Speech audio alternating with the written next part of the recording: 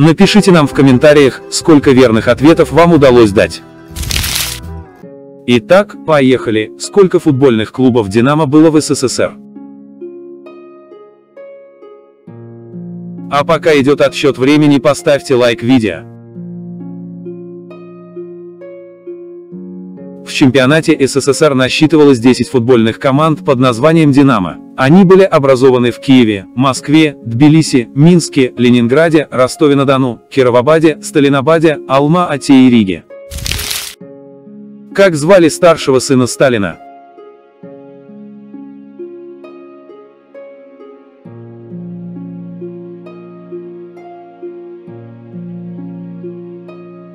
У Сталина было пятеро детей, двое официальных сыновей Яков и Василий, одна дочь Светлана, один внебрачный сын Александр и один приемный сын Артем. Яков Иосифович Джугашвили, старший из пяти детей Сталина. Он родился в 1907 году, а погиб в 1943 году во время Великой Отечественной войны, попав в немецкий плен.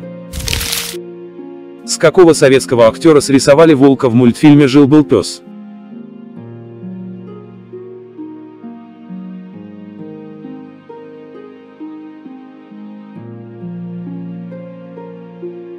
Армен Джигарханян покорил аниматоров союзмультфильма, когда те попросили его показать волка. Он сразу упер руки в боки, сделал тяжелый, бывалый взгляд, и стал разговаривать своим знаменитым волчьим голосом с хрипотцой. Что было внутри этого флакона?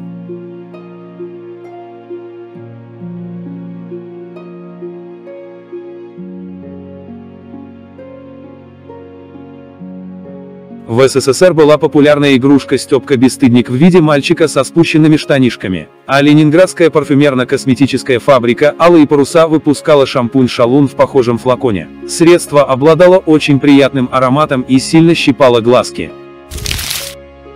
Что за продукцию выпускали в Украинской ССР под названием «Экспресс»?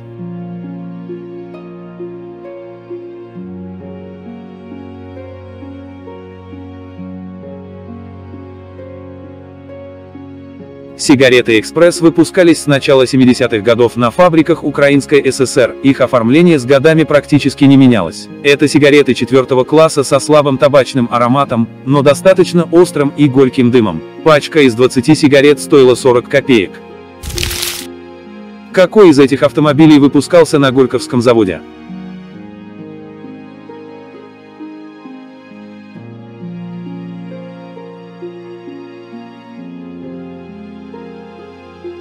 «Волга» — это название ряда легковых автомобилей среднего класса, выпускавшихся Горьковским автомобильным заводом с 1956 года. Всего на Горьковском автомобильном заводе было выпущено 639 478 экземпляров всех модификаций.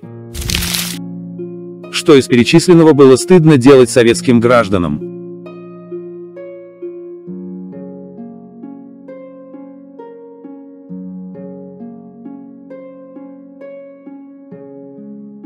Полиэтиленовые пакеты в СССР появились в конце 70-х, советские граждане берегли их и даже стирали. Массовый сбор стеклотары – такое распространенное явление, что даже на несколько лет пережило СССР, но к концу 1990-х сбор сошел на нет. Советские модники варили джинсы, так как фирменные модели с разводами и потертостями были в дефиците. А вот место работы меняли единицы. В Советском Союзе ценилось такое явление, как многолетняя работа на одном месте. Тех, кто перебегал с места на место в поисках лучших условий, называли презрительно летуны, и всячески боролись с таким явлением.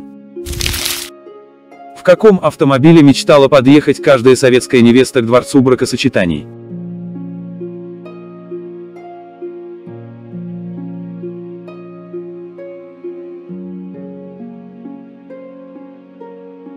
Аренда «Волги» стоила 25 рублей в день, «Чайка» обходилась дороже. Автомобили обычно украшали бумажными лентами, иногда огромными кольцами, но чаще целлулоидной куклой младенца. В ЗАГС обязательно заказывали фотографа. Эта традиция появилась в конце 1960-х годов, а на входе в зал регистрации браков всегда играл марш Мендельсона. Узнайте этот предмет из советского прошлого на фото.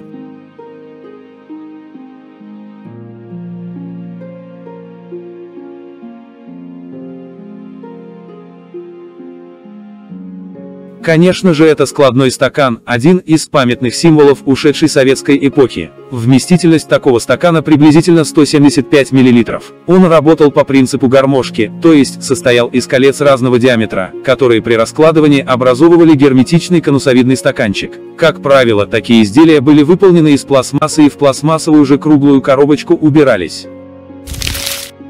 В этих кедах поголовно ходила вся молодежь, и даже волк из «Ну погоди». Как они назывались?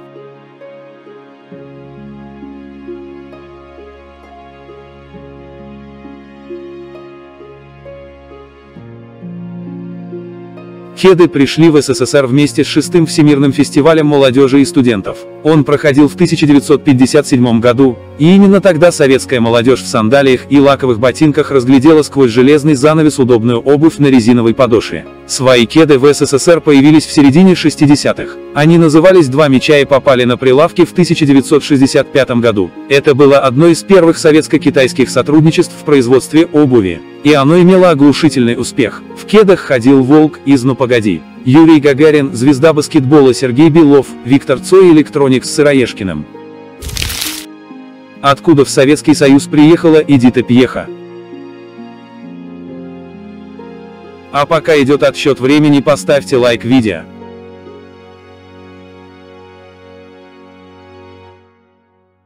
Будущая королева песни Петербурга появилась на свет 31 июля 1937 года во Франции, в рабочем городке Нуайоль-Суланс. В 1946 году вместе с матерью, отчимом и младшим братом Юзефом уехала в Польшу, жили в шахтерском городе Богушове в Силезии. В 1955 году, после конкурса в Гданьске, получила направление на учебу в СССР, выбрала Ленинградский педагогический институт имени Герцена. Как назывался закрытый военный городок, в котором готовили космонавтов?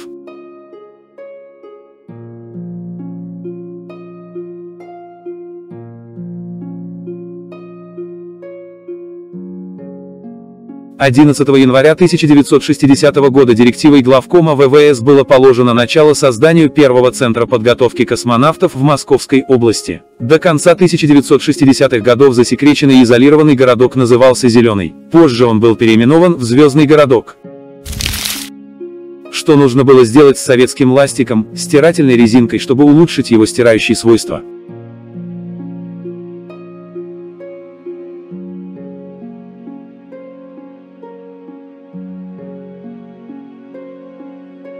В 80-е годы наука и жизнь опубликовала рецепт, как приблизить по стирающим свойствам отечественный ластик-архитектор к кахиноровскому слону. Лучшая импортная резинка того времени. Для этого нужно было поместить ластик на ночь в емкость с керосином. Правда, вонял он потом жутко. О таком же способе рассказывает героиня Муравьевой Надя Клюева в кинофильме «Самое обаятельное и привлекательное».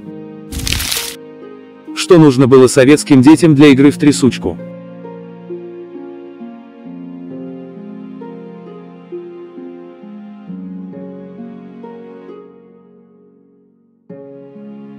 Для того, чтобы сыграть в трясучку советским детям нужны были монеты. Действие происходило так, на ладонь клались монеты, желательно одной стоимости. Затем ладонь накрывалась другой и монетки энергично встряхивались до тех пор, пока другой участник не давал команды «стоп» и говорил «решка» или «орел». Ладонь открывалась и если обе монеты были числами вверх, то выигрывала решка, если другой стороной, то орел. Если же монетки по-прежнему лежали разными сторонами, то трясучка продолжалась. Какой предмет женского гардероба изготавливался в СССР из фельдеперса?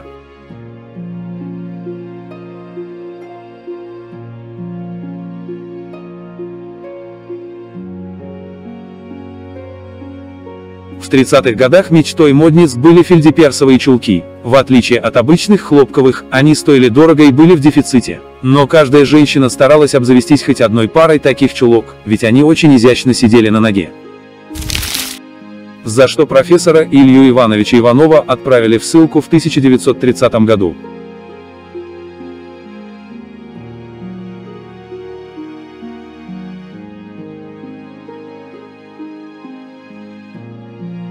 Илья Иванович Иванов, русский и советский биолог-животновод, специалист в области искусственного осеменения и межвидовой гибридизации животных, пытался создать гибрид человека и обезьяны. После неудачных опытов в Африке решил повторить эксперимент в питомнике в Сухуми. В 1930 году, когда должен был пройти очередной эксперимент, Иванов подвергся политической критике и отправлен в ссылку в Алма-Ату. Какую денежную премию получил Михаил Калашников за изобретение автомата?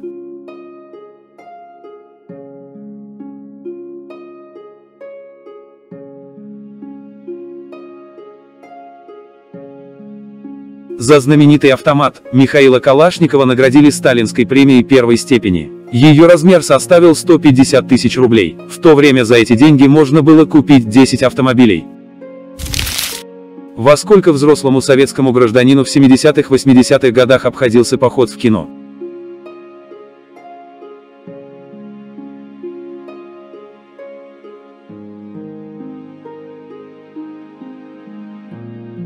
Походы в кинотеатр были одним из самых любимых и доступных видов досуга советских граждан. Взрослый билет на дневной сеанс стоил 20-30 копеек на односерийный фильм и 40-50 копеек на двухсерийный. Детский билет стоил 10-15 копеек.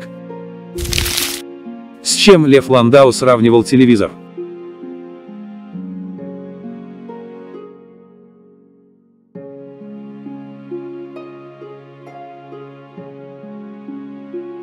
Лев Давидович Ландау прославился не только достижениями в физике, но и меткими остроумными высказываниями. Он сказал, телевизор – это мусоропровод, работающий в обратную сторону.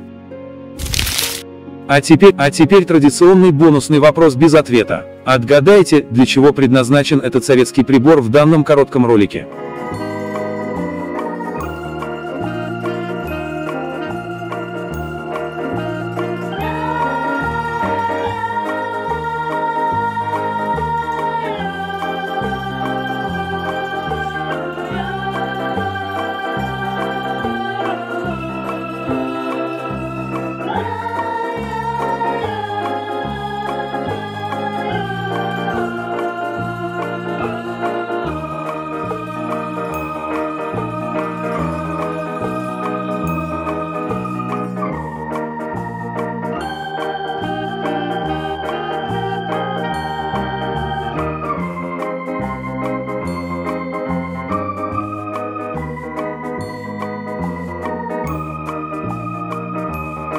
Напишите в комментариях ваш вариант ответа, для чего предназначен этот советский прибор.